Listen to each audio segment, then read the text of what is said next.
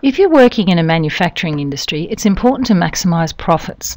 So when you do a chemical reaction, you need to know what quantities are involved.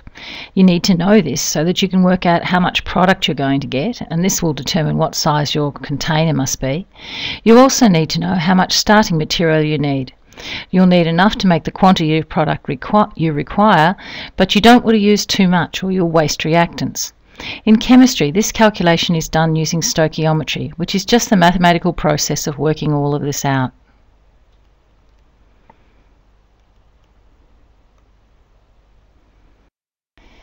You're all familiar with chemical equations. They tell us the quantity of reactants involved and the amount of products produced.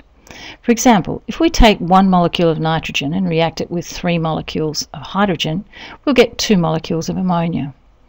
If we took a dozen molecules of nitrogen, we'd need three dozen hydrogen molecules and we'd get two dozen molecules of ammonia produced.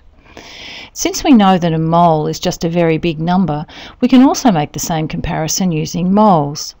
So, if we took one mole of nitrogen, we would need three moles of hydrogen and it would give us two moles of ammonia. Similarly, if we double the amount of nitrogen, we would double the amount of hydrogen that we needed, and this would also double the amount of ammonia produced. If we halved the amount of nitrogen we started with, then the other quantities would also halve, and we'd end up with only one mole of, of ammonia. So a balanced equation is going to be very important in all our stoichiometric calculations. Let's try a more complicated equation. If we had 2 moles of our reactant, you can see from the equation that it needs 15 moles of oxygen to react with. We can also see that it will give us 6 moles of hydrogen from the equation.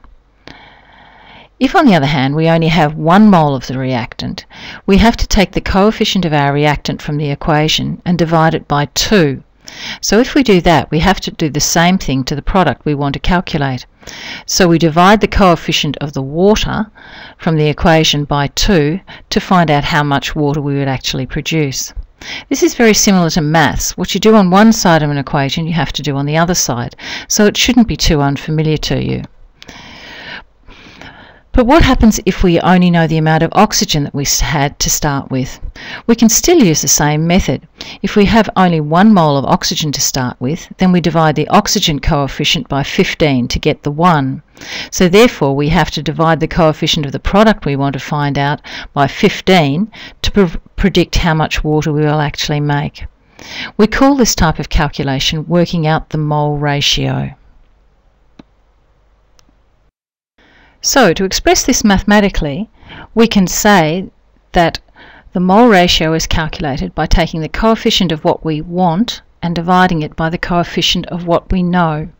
So in this case, if we have 2 moles of reactant and we want to know how much carbon dioxide produced, we write this directly under the equation. The quantity that we have got is the reactant and the quantity that we want is the carbon dioxide.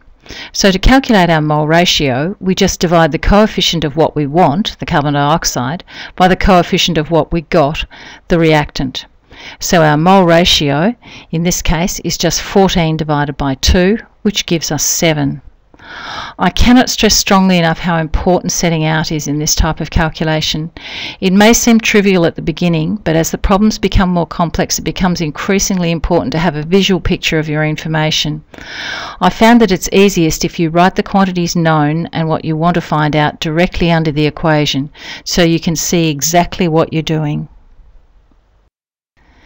How could we find out how much carbon dioxide we would make if we had 3 moles of reactant?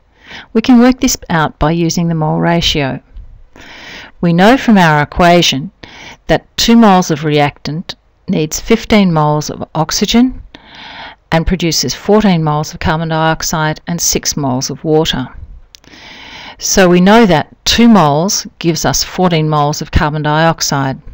So therefore 1 mole will give us 14 divided by 2. So it follows that if we have 3 moles, if we multiply the left-hand side by 3, then we need to multiply the mole ratio we've calculated by 3 to work out how much carbon dioxide we produce. Similarly, if we'd only had half a mole of our reactant, we could calculate the mole ratio of 14 divided by 2 and in this case we'd multiply it by 0.5 to work out how many moles of our carbon dioxide we produce. Try these examples to make sure you understand exactly how to do this. From this equation we can see that if we have 2 moles of ethane it will react with 7 moles of oxygen to give us 4 moles of carbon dioxide and 6 moles of water. What if we had just 1 mole of ethane? How much water would we be able to produce? Well, first we need to look at our mole ratio. We take what we want and we divide it by what we've got. So we divide the 6 by the 2 and that gives us 3 as our number of moles of water that would be produced. What about if we had 1 mole of oxygen?